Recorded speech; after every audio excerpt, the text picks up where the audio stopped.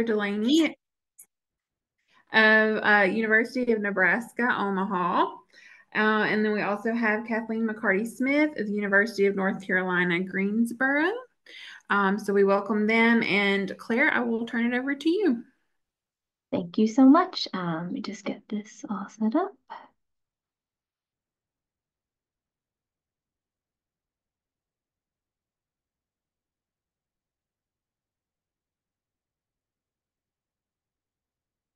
Okay, can you all see my slides? Great, thank you.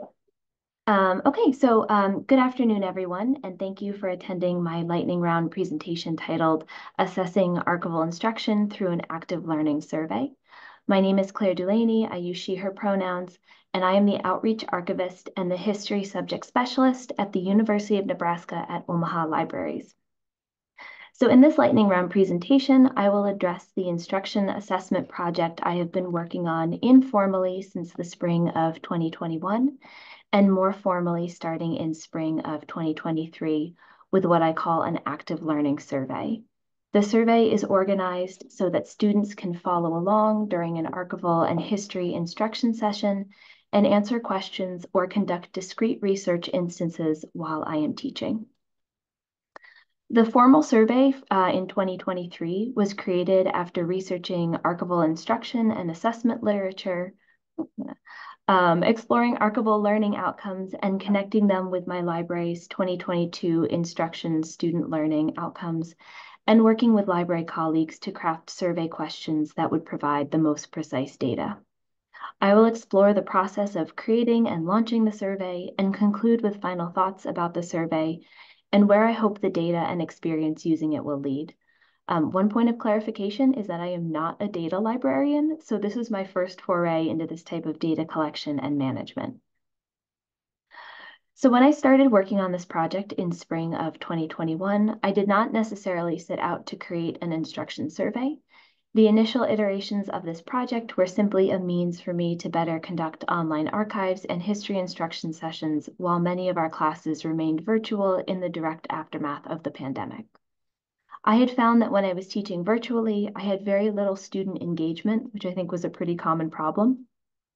Through professional development opportunities and working with the Teaching with Primary Sources Collective, I started employing Padlet, as a lot of us have, um, to encourage students to answer and ask questions in a less public way than unmuting their microphone. Um, for those of you unfamiliar maybe with the contours of the program, Padlet is a cloud-based collaborative software that acts as a virtual bulletin board. You can create sections where people can comment, answer or ask questions, vote, etc., and then export the data as a PDF or CSV, um, though the latter never worked out for me. Um, but despite that, it was really helpful for my purposes. So some of the questions that I asked, I had been asking in various ways since I started at my institution in 2019. Other questions were added during the pandemic teaching, which is why you see the title here is 2019 Fall to 2022 Fall Aggregate Questions, even though I did not start recording the data in a systematic way until fall of, uh, until, excuse me, until uh, 2021. So uh, this is the Padlet data from four classes uh, in spring of 2021 to fall of 2022. The data pool is small because not all classes lent themselves to an in-class survey. So I teach mainly one-shot instruction sessions for a multitude of classes uh, and disciplines that include history, Native American studies, art, women and gender studies, sociology, political science, and others. Um, so some of the early Padlet questions would vary, would vary depending on the class or what teaching faculty had requested, but there was a basic framework um, for questions that included um, what are some questions that you have for me at the beginning of class? Or have you used archival material for research or a project before? Um, if so, what were things that you liked and what were some challenges? Or a database question, such as take three minutes and search for an item about your research topic Make a few quick notes about how you're entering the search terms and using the filters. What did you learn about the databases and, and how you search? Um, questions that were only asked for certain questions, which are labeled SQ or special questions, mainly dealt with specific assignments, such as um, what course assignment, abstract book, book review, annotated bib, etc., has been the most interesting, helpful, or challenging, and why, and what were some challenges about historical research that you didn't expect. So the first class I used the Padlet with was a sociology class, Introduction to LGBTQ+. I created a simple Padlet with six questions. The data was small but enlightening. As you can see, no student had knowledge or wanted to share prior knowledge about archives. 30% uh, of students had conducted primary or archival research. 91% of them thought of the term old or some variation when asked about archives, though one student did answer with, quote, personal or community-based materials when thinking about archives. And you can see on the slide the remaining questions and then my summary of the answers from class. Um, so it was during this time, starting in August of 2021, that I became the library liaison for the history department and took over the bulk of teaching and research consultations, in addition to my archival instruction and research support. The subsequent Padlets and questions here were done with history classes from fall of 2021 to fall of 2022. And um, again, we're a little bit more tailored to an assignment, which is reflected in the questions on the screen. Um, the results were quite similar to the SOCH class. Students reflected on the challenges. There were fewer dusty comments about archives, but still some. Uh, two students felt more confident and excited to learn more, while two of the five students who responded were actively nervous or intimidated by primary source research. So the small pool of data indicated that I was helping students with their research, but I wanted to better understand their needs and how I could support their research more effectively. The process to a final survey was complex and included transferring Padlet and later surveys into Excel. And for like a glorious minute, I understood pivot tables. Please don't ask me to make one now. Um, I solicited feedback from instructors. You can see an example of this on the slide um, about courses with an archives or history session. I researched instruction survey and assessment learning outcomes and matched those as best I could with the learning outcomes created by my organization so that I could cohesively support um, the existing framework created by the library. Through numerous drafts uh, and iterations and working with colleagues to streamline and clarify the questions, I had a Qualtrics survey ready to go by the fall of 2023. Um, so I formatted the survey to be what I have called an active learning survey. I don't think I came up with that term. It just, it made sense for what I was trying to do. Um, students would follow along with it during my instruction session, answer questions, ask questions, and conduct discrete activities within the class and the survey where they would then reflect on the session and what they learned. I formatted my PowerPoint presentation to follow the contours of the survey, and I entered the semester ready to launch and gather data. Um, overall, the survey has been very helpful, but there have been challenges, some of which I did not foresee. One challenge was teaching faculty posting the survey to Canvas, our learning management platform, and then telling students to fill it out prior to my instruction session. This led to confused data for some classes, as many of the questions were framed as rate your level of comfort before and after the session. The survey also didn't really consider the lower level courses that didn't have a research component. So the activity about um, finding it, researching a topic and writing down search methods um, was challenging as I would have to come up with a topic on the fly. This would then throw off the whole survey flow as entire sections had to be skipped. Um, finally, I didn't anticipate the number of repeat students I would have during the semester. I had many students who took the survey two or three times over the two semesters, which again affected the data because their comfort and confidence did not necessarily improve over the course of the class. Um, overall, I had 78 responses to the survey in two semesters. So despite these challenges, this has been a really helpful process. The data collected does tell an important story. And significantly, when one class followed the survey perfectly, it told a story that said I was on the right track in adjusting the instruction sessions.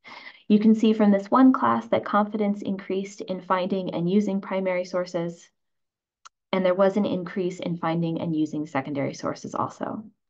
Uh, this experience has also confirmed what I already suspected, that I needed to create a tiered approach to instruction, one for intro classes and one for upper level courses. I do this already informally, but it would be better to have it standardized. I plan on taking the summer to adjust the survey and how I organize my instruction sessions. This may mean having two different surveys for various levels of classes, or just being more diligent about getting a syllabi from a teaching faculty so that I know if the students have a research assignment, um, I can then incorporate it into the uh, learning assignments. From what I've gathered, this method at its foundation is really useful. It just requires a lot of work and adjustment. Um, I definitely did not expect to get it right the first time the survey went live, and I'm looking forward to future versions of this and the insights they provide. Thank you.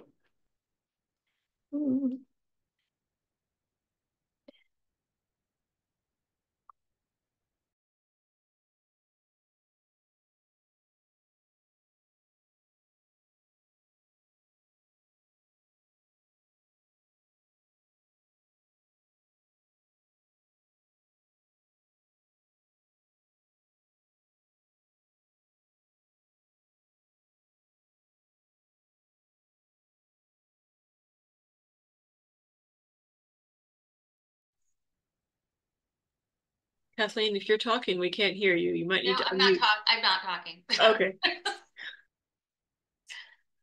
I didn't know if we were gonna make a formal transition or I just go ahead and start.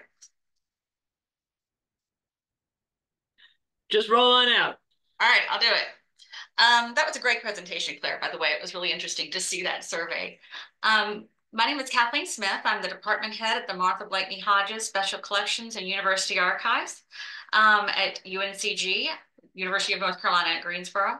And I also coordinate our department's instructional outreach. So let me see if I can turn this. Um, so I'm really happy to be here today talking about archival assessment. Believe me, believe me, those are words that I never thought that I would, would say. Um, but after teaching in archives for the last 14 years, I've really become increasingly aware of how important assessment is. And now I'm a really big fan. Um, when I began, let's see, archival instruction, um, most of us were satisfied with kind of a simple hand raise from students acknowledging that they understood the process of primary source evaluation. But increasingly, it became clear that this was just not really an effective way of assessing whether students were meeting the learning goals that we had established um, for each class and how we as archivists could better um, meet those goals. Yet, as you know, assessing, assessing the um, success of these instructional sessions proves sometimes challenging as each class group is at a different level based on the year of study, the complexity of their professor's curricula, and related class projects. So creating a flexible assessment system that would meet the needs of a diverse cross-section of classes was essential to determine not only the learning impact of the class sessions, but also to help the archivists in our department understand um, where we could improve our instructional efforts. So we met the problem by developing a system of assessment that incorporated different levels of evaluation forms and associated an associated rubric that would satisfy the needs of every instructional level and align with the standards reflected in the RBMS ACRL guidelines for primary source literacy. So just to give you an idea of our school, we are um, said we were in located in Greensboro, North Carolina.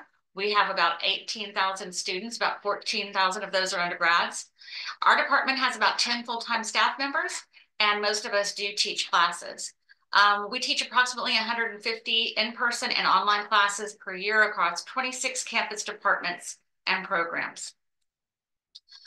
Okay, so as I mentioned before, um, when I first came aboard about 14 years ago, we didn't really have any kind of formal way of assessing things. We just kind of um, would just casually ask students how, to, how they were getting along and and that worked out fine at the time um, but then we started really kind of getting on board with the whole idea of corresponding worksheets and we did that for a while as well and then several years ago but you know, before covid um, our roi our reference librarians downstairs were also um, starting to more deeply consider some kind of assessment and we started talking more about it and this kind of put us in mind as well and then meanwhile, the, frame, the um, framework for information literacy um, was uh, being developed by ROI. They were they were kind of using that, and our guidelines came into play too. So all of it kind of came together, um, kind of for a perfect storm.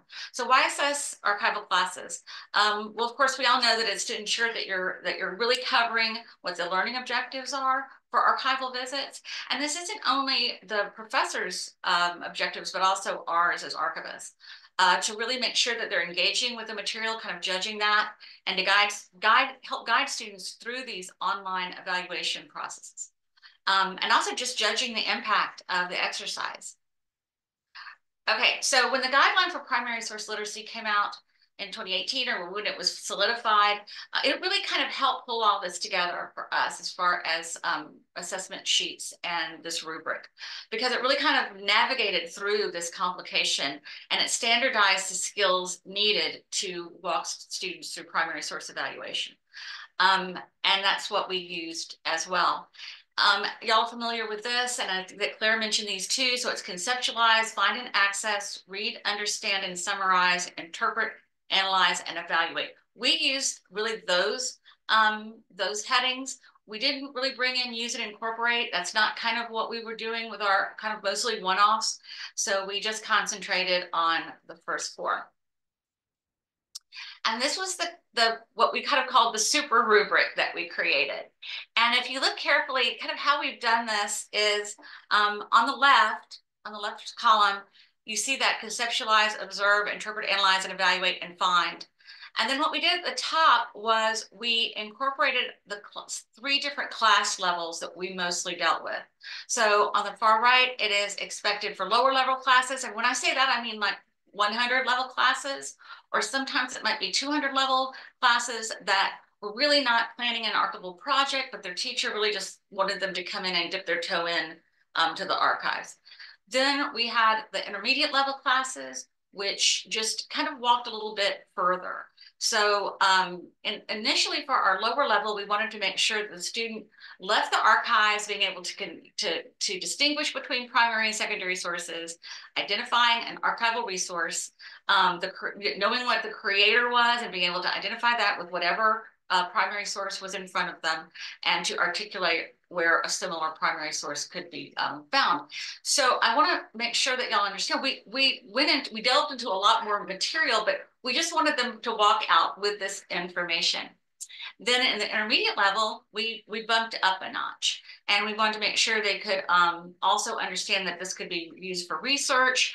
Um, they could uh, not only identify the, the research, the resource itself, um, but the unique physical qualities of it. Um, then we wanted to make sure they could also um, understand that, that using primary sources could bring in different various perspectives and biases.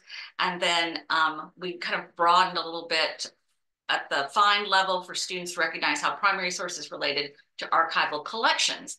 And then finally for upper level classes, three and 400 level, we, we jumped up another notch, um, as you can see to the far left. And um, this is basically how they integrated the material um, a little bit more deeply into observing.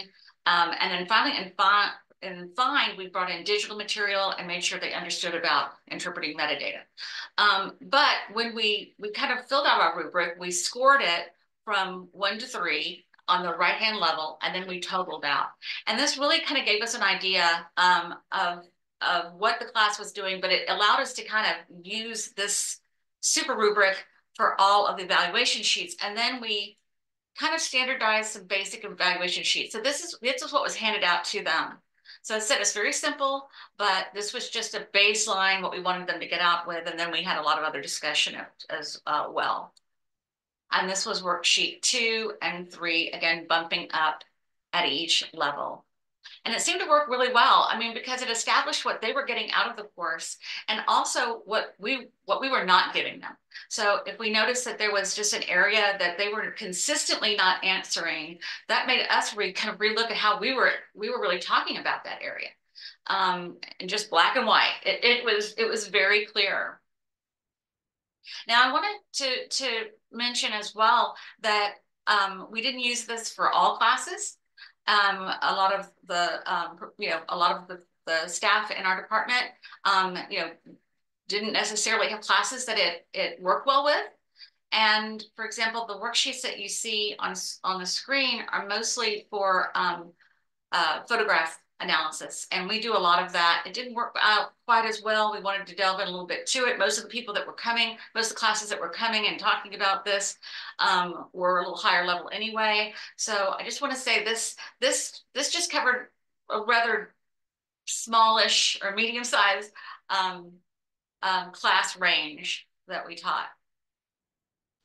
Okay, but I also wanted to say that one of our favorite things um, for these assessment sheets were the great doodles that we had. And I've always wanted to bring some of these out, but these are some of my favorite. Now I have to say that these all, um, that they filled out their sheets, but as we all know, students are sometimes go at a different level when they're doing their evaluations. And uh, these were, I think, I've tried to figure it out. I think these were mostly art classes, as you can see, but um, they did the, they do these great doodles on the uh, side of the assessment sheets um, when they're finished. So I just want to say overall that I think this has really worked out for us. Another thing we were able to do, unfortunately, this kind of was coming to fruition about the time that um, that COVID was hitting, but we were able to align our super rubric with the one that the reference librarians were also doing. And we, we had high hopes of actually trying to combine them in some way, and we just haven't done that yet, at least in kind of comparison. But that is how far we have gotten now.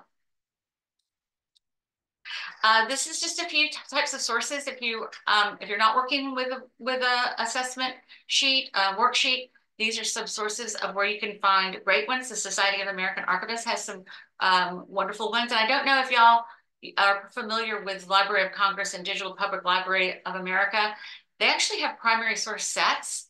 A lot of them concentrate on um, the K through 12 experience, but if you're not used to doing a lot of this, especially um, online, you might check with those too, because they're really great and they're adding to them all the time. That is my very lightning talk. Wonderful. Thank you, Claire and Kathleen. Um, at this time, we're going to open it up for questions. Um, again, if you have questions, you can put them in the chat or you can unmute yourself. Um, we have a question already in the chat. Um, they said, do either of you see this being implemented in freshman or orientation classes to help students learn how to use these resources as they enter college? I mean, I think ideally that would be amazing to have um, even just like a section of one of their orientation classes that focused on primary sources. Um, we we don't do that here. Um, it's kind of up at, at, my institution, at least it's up to me to kind of connect with with teaching faculty and get students and classes in. Um, I think, I mean, I think it would be great. I think it could be a little overwhelming for a lot of students, and I think it would take um, some careful nuance to to make sure we didn't lose students in thinking I'm not I'm not doing history. I don't need the archives. But um, ideally, I think that would be really fun. We do um, we do lower level groups, and sometimes those are freshmen. A lot of times when we have that level in, or they're just in for for a short amount of time, we don't do kind of um, you know basically sit down and delve into it. Primary source evaluation. We'll use something um, something very visual, like maybe we have these great World War One and World War Two propaganda posters. They're big, they're visual. We'll put those out on the table and we'll walk through those. And we usually don't use evaluation forms for those because um, it's just too much. Um, and they really they're not sitting down. So we do we do a lot of that type of things with with students that come through either with something like orientation, freshmen, or even when high school students visit us. That works out really well.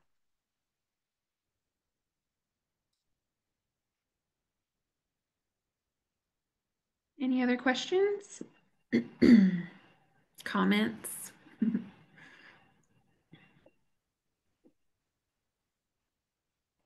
I was just going to say we actually did something similar here with doing evals at the start of a semester and then at the end to see if we were moving the needle at all uh, with our one of our uh, sort of in, we called them reverse embedded research skills classes uh, where we tried to embed the class in the archives rather than embedding the archivist with the class. Um, and so one of my colleagues, had, she was working on that for a while, was developing a, a Qualtrics uh, survey to, to, to send to the students. And I used it last semester uh, and happy to report that they they were they were re reporting that they they did feel like they had uh, developed just a new skill. So anyway, if anyone wants to see yet another variation on this, um, I'm happy to share what we were what we've been using.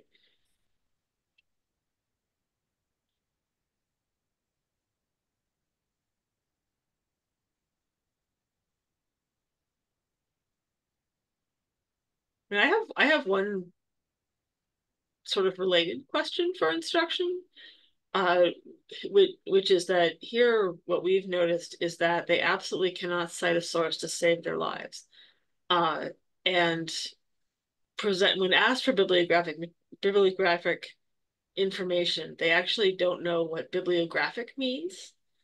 Uh, and so that's like the first hump to get over. So I actually resorted to doing like a little Mad Libs at the beginning of the of the worksheet to try and get them to like even just be able to identify the pieces of citation. So I'm just wondering if anyone else has any um any tricks or anything else that they've tried to help the students learn how to cite.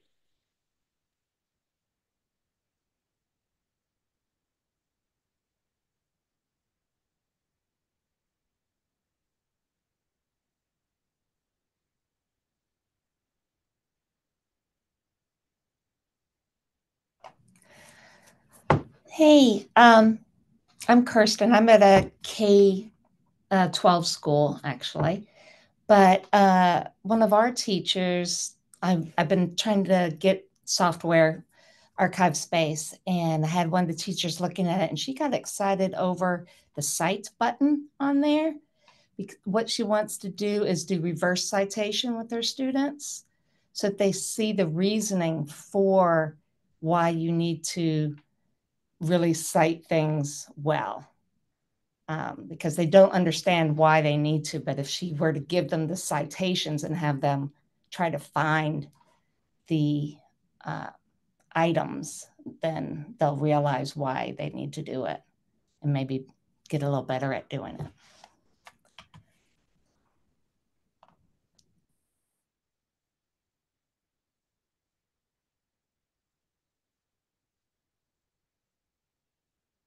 Anyone else have any questions or comments?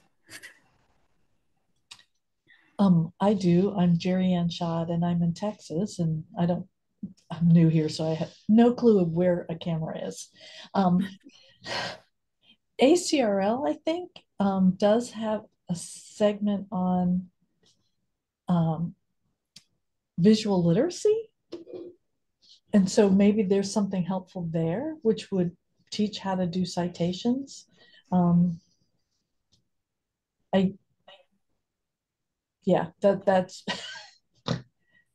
as my mother would say, you can lead a horse to water, but you can't make him drink. Never quite understood that, but that might be the case. Sorry.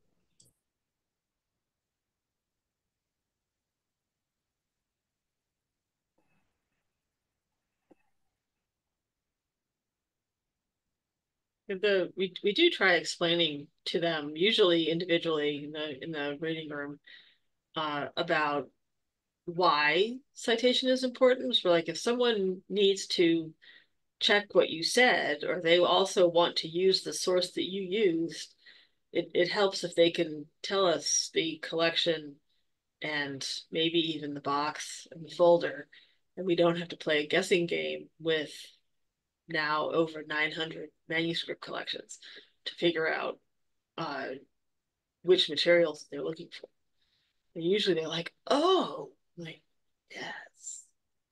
Well, if we do a class, if we do a class LibGuide, we always include a tab on citations. And I think when, especially when students come in with some kind of project, because we've because we've learned the hard way, we always beg them to take, like if they're taking, you know, pictures with their phone, about with sources to please, you know, take a picture of the folder and the box. Otherwise, we can't even help you um, cite it. So that's something that we've started because we've we've had our experience with students coming at the end of the semester and desperately holding up a, a picture on their phone and saying, where did we get this? We like, we have no idea.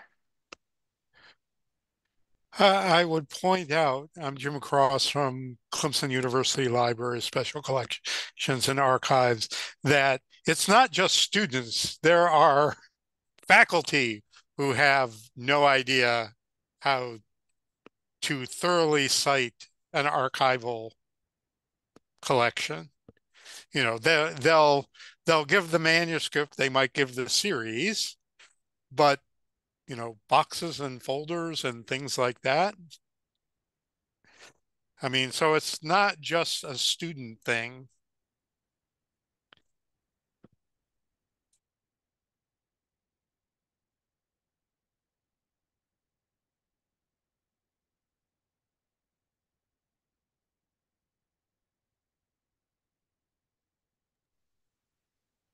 you know we've also noticed that the thing that tend, tends to throw them is that concept of repository.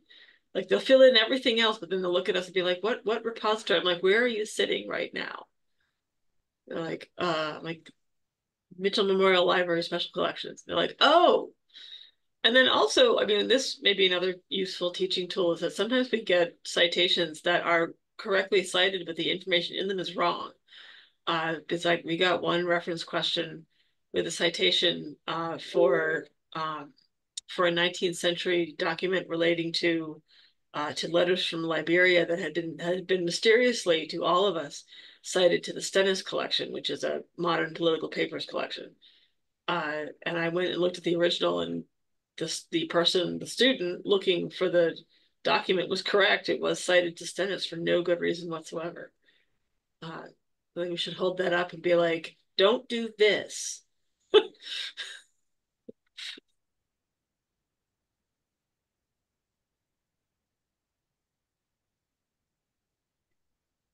Any other questions or comments?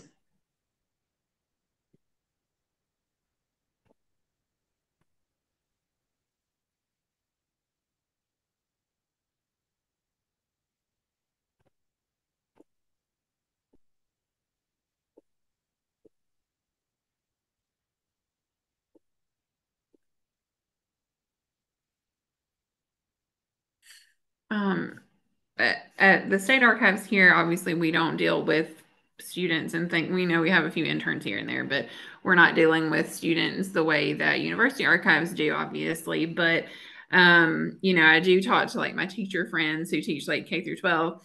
And um, so uh, hearing some of the stories about um, their students and you know just the reliance on technology and all that it seems like it's just like like I, I, feel for people who are working with this generation that are like very um, reliant on technology and you know uh, i feel like i i'm young but like i was sort of i remember before the internet and after the internet. So um anyway but uh i i wonder if you guys do you think that um you know, it would be better to start introducing like high school students to primary sources. Do you think that that's something that would be, you know, um, e- easy for them to understand? Do you think that would be helpful for when they get into college? I mean, I remember I was, I think, a junior in college before I actually stepped foot in an archive, and that may just be because the institution that I was in. It may vary, you know, from state to state, institution to institution, but um I'm curious what your thoughts are on um, archival research in like the high school age. I I think it would be helpful. I, I've seen so many students that are so scared to come into the archives, even as juniors and seniors. And I think introducing it earlier and making it not something to be afraid of, but also that those students are you know welcome to use primary sources and welcome in repositories that that provide access to primary sources would be really helpful. Um, we do do a little bit of um, of engagement with uh, high schoolers specifically for National History Day out here. So that is definitely really helpful just to get them in to the archives and and just show them that they're supposed to be here. I think that translates really well um, in in their college experience because then they already feel like they have a sense of belonging and a sense of knowing that you know these resources are for them. That's great. That's good to hear. I wish, you know, I came from a very small town, so, you know, I, there was a lot of things that I wasn't exposed to, but I do wish that I'd been able to be exposed to archives a little bit earlier. Um, especially as a history buff, you know, I would I would have just nerded out so much. I would like to comment on this. I'm Melinda Gill. I'm the college archivist at the College of Coastal Georgia, but I actually come from New England. Um, I was also introduced to the archives as an undergraduate student.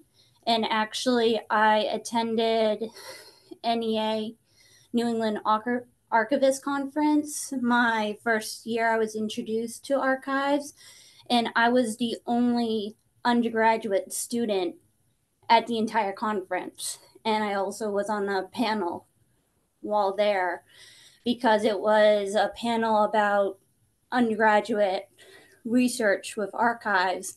So while the rest of the panel were archivists, telling their side of the teaching, I give the perspective of the student learning about archives and how I got into the field, and now I'm in the field today.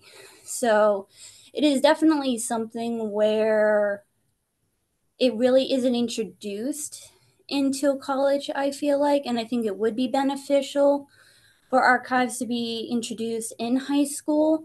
But right now, because of the pandemic at my current institution, we are actually having trouble with our college students knowing how to use the library, where they don't even know how to use the Library of Congress. They don't know how to find books.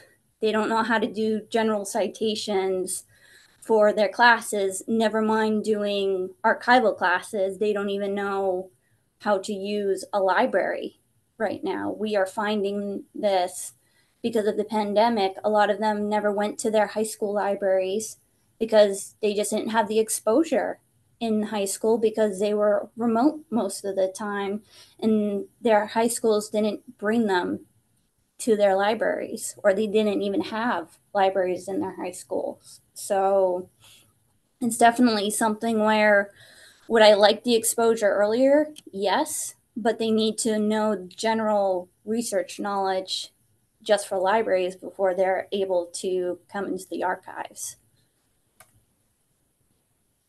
That's a great point.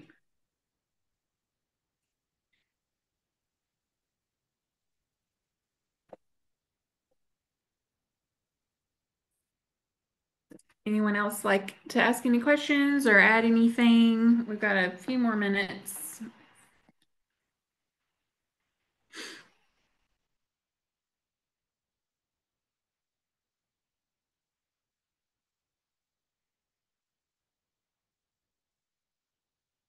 If there are no more questions or comments or anything, um, we can go ahead and go for a, few minutes early if you guys want. We can um, take about a 15 minute break and come back um, to our next session. Uh, thank you again to Claire and Kathleen for your presentation. Um, and yeah, we'll take a break and come back.